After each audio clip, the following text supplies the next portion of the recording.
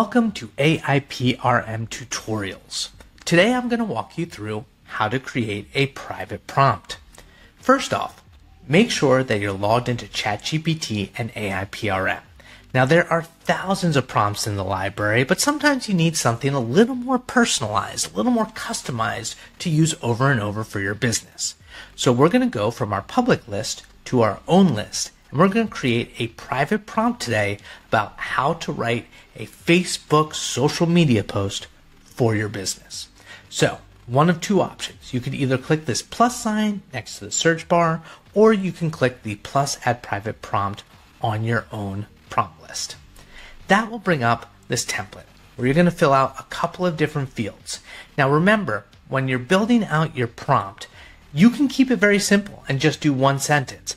However, you'll get much more value if you build it out and provide more details to ChatGPT. When we're building out a prompt for a Facebook social media post for our business, I'm going to use an example as a landscaping business called Hedge Your Bets.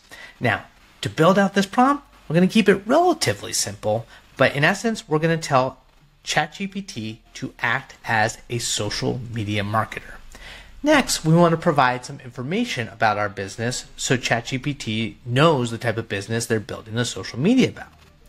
So we've got my business, Hedge Your Bets, offers landscaping services. I can cut your front yard or your backyard. I can also plant flowers, bushes, and trees, and I'm located in Northern Virginia. Now we're going to create the task. What do we want ChatGPT to do? In this case, we want to write a social media post for Facebook about any given topic. Make sure to use emojis and only one hashtag, and at the end, add a call to action. Now, if you notice here, we have this prompt variable.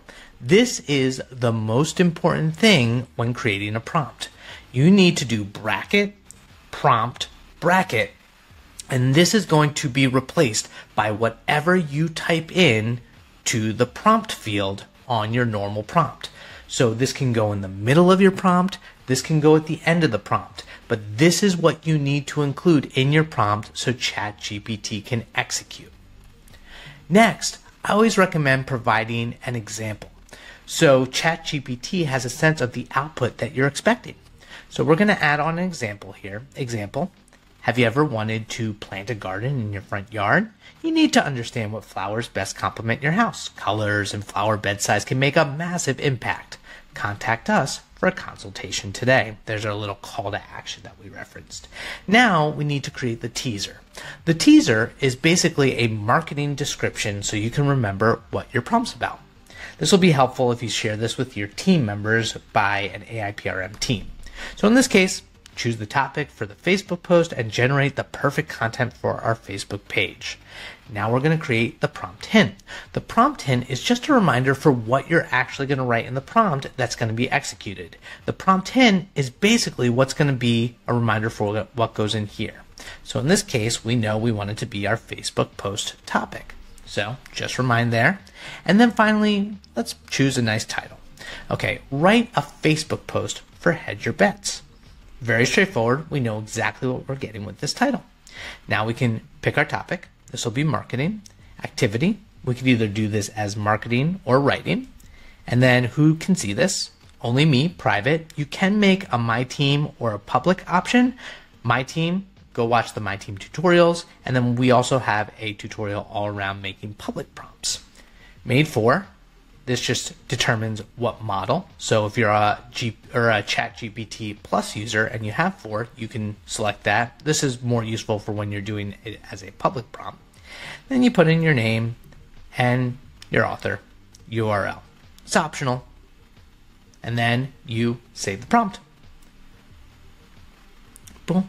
Now we have an awesome write a Facebook post for Hedge Your Bets. Now if I just were to click on it and put in how to get the best front yard.